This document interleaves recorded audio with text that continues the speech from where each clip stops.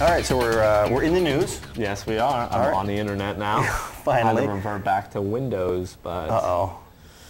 What happened with what happened with Linux? it's my fault. End user error. I End user error. Okay.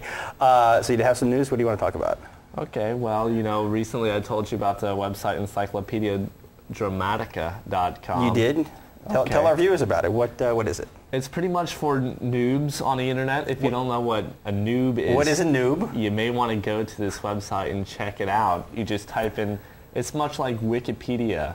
So you just go in, it's a wiki type website, and you ask a question, type something in, you might type in noob. They'll give you an internet-based definition. of Now it. now how about a definition of wiki? I don't know, you want to find out? No, I can. Let's just quickly explain that a wiki is a uh, owner supplied or an end user supplied answer that can be modified and edited and things like that. It's not written by anyone specifically. Um, Wikipedia, for example, uh, is a good example, uh, or some others. Uh, but you're allowed to go right on those sites. Uh, you log in, and, and then you can make your own changes. You can actually edit it, and uh, hopefully your edits will, will stay put. So I guess that'd be a good explanation of a wiki. Yes, yes. It's uh, like an encyclopedia made by everyday people. I like it. Open source encyclopedia. We're talking a lot about open source, open source software, operating systems, open source uh, office packages, um, open source uh, colas, and just recently I, I've read something in the news about an open source car. I don't know where that is. I'll try to find that. Open source car. Open source car. Supposedly, um, you can you can change and, and make modifications to the design as long as you share it with the rest of the community. So uh, I'll have to get back to you on that one. That's actually I just read that a couple of days ago, so that was pretty interesting. Um, I recently read that uh, Stephen Hawking, the uh, physicist, is uh, taking a ride on the Vomit Comet. Ooh, that's that 727. It's a 727 that uh, a lot of the astronauts practice in. They go up and they do these uh, parabolic arcs to make the plane uh, simulate zero G. So uh, Stephen Hawking is going to uh, is going to go up and uh, ride in that. I actually uh, got a letter from him, an email years ago. I, I sent an email to Stephen Hawking about my uh, show car, which recently sold. Um, yeah, he's a Star Trek fan. He was actually he? Yes, he, he-. He actually, yes, he's actually on an episode of Star Trek, and uh, I wrote to him about the Star Trek car. Uh, he thought it was very, very cool, um, and and that was the end. That, that's it. So Okay. I actually had some correspondence with Stephen Hawking. Um, 102-year-old man takes out a 25-year mortgage. Uh, I haven't even read that. That's the that's the title there. Uh, not really interested in, in, in how that applies to computers. Maybe there was a complete computer glitch. Um, oh, this is interesting. Okay, this actually applies. This applies to some of our some of our end users here. Um, we've been talking a lot about wireless security. a lot of people that have wireless networks don't uh, encrypt or don't use their uh, their WEP keys or secure their wireless networks in any way. And uh, this is rather interesting. This says, uh, don't use WEP for Wi-Fi security. Of course, uh, using nothing at all is probably the worst. Um, and so this is recommending not to use WEP for Wi-Fi security. Now, most end users should know you have alternatives to WEP like WPA. So far, WPA is the strongest of the encryptions, but WEP, really honestly, with this CD right here, I could crack WEP in less than five minutes. Nice. Doesn't matter. This laptop made to crack WEP. Made- It's nothing but WEP cracking. Nothing but WEP Yeah, cracking. that's what it does. Okay, well, that's very cool. Um, all right, well, if you have any questions about uh, whether or not your wireless uh, access point, your wireless router is secure, uh, we certainly want you to contact us. Make sure that you contact us, and uh, we'll come out. We can uh, we can check to make sure that you have some sort of security on your wireless device. I think that's probably a good idea. Definitely, you Yeah. definitely want to change some things on your website, on your wireless device.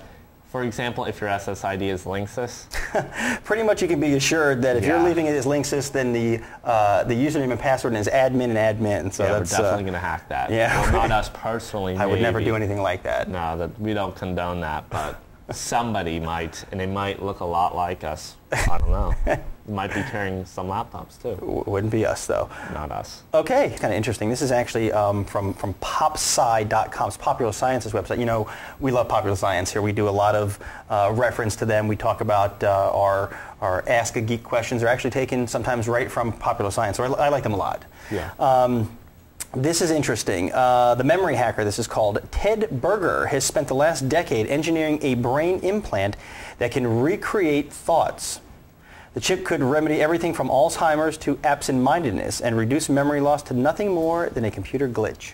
Uh, here we go. Back to, uh, this, this, is one of my favorite topics. Uh, the Geek Squad. Uh, of course, let let me start off by saying we, you know who the Geek Squad is. Um, well, what does the Geek Squad do? Well, those first of all, they drive around in little VW Beetles, uh, black and white painted Beetles with the big Geek Squad logo on them, and they claim to fix computers. So they're kind of like us, but I that, think we could. cool. We could be the, the bully squad, maybe then. The bully squad. I like that. That's okay. that's very. All right, you know, because we drive around in nice big trucks. that is true. We do have a cool vehicle. Uh-huh. All right, so uh, here let, us get right to it. Uh, the Geek Squad charges four hundred fifteen dollars to replace a hard drive. That's yeah, take a breath on that one. Charges $450 to replace a hard drive, makes customers retrieve data files himself. This is taken right from the consumerist.com. Uh, I actually read this a couple of weeks ago. I was looking for an opportunity to uh, to get it here on the news, and I just want to just want to read some of these uh, excerpts here. Uh, this fellow uh, brought his uh, laptop to the Geek Squad, and they told him that the price to diagnose it was $69. That's reasonable. Uh, that's that's reasonable. The OS uh, installed is $129, and the backup transfer would be $99 and no guarantee. Let me also uh, just start off by saying uh, that uh, the customer's laptop stopped working, so he consulted the oft-advertised but rarely recommended Best Buy Geek Squad uh, for assistance. They told him the problem was called blue screen of death. I'm familiar with that. All right, well, from, old school. Yeah, we're familiar with that. It could be a variety of things, but that's what they told him. Anyhow, so uh, they gave him these prices, and seven days later, they hadn't even looked at the machine. After eight days, they begun testing the laptop, and on the tenth day, through exhaustive tests were still being done, um, weren't able to get this fellow's uh, laptop back to him. So that seems like a long period of time. I mean, that uh, sounds like something that we would probably be able to handle in just a day or two. So uh, if you're interested, um, you have the option. Uh, certainly, you could you could uh, have the Geek Squad come and do service for you. Uh, however, it appears as though they take a considerable amount of time. Um, so let's see here. Uh, the data was really beyond saving. Mm, it's unlikely uh, that the the data was beyond saving, which brings me to another point, something else that I that I found uh, which is also with regard to the Geek Squad. Well, hold on, let me well, point it out. Well, okay. if, it, if, it, had a blue screen of death, then uh, hard drive was operational.